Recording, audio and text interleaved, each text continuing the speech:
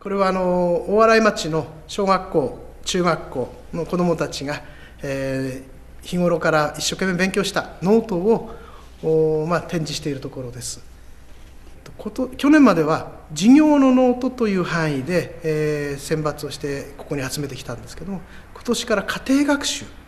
頑張って家庭でやった学習もこのノート展の範囲に入ってきています。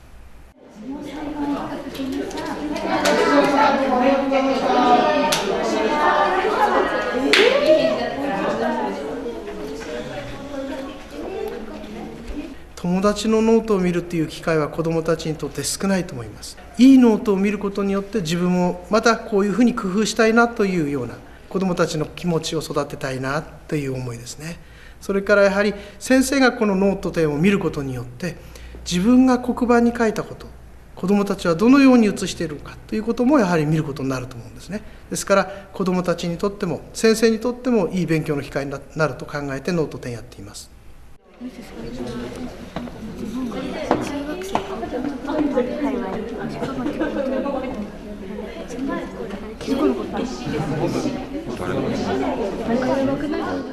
大事なところとかを赤で書いて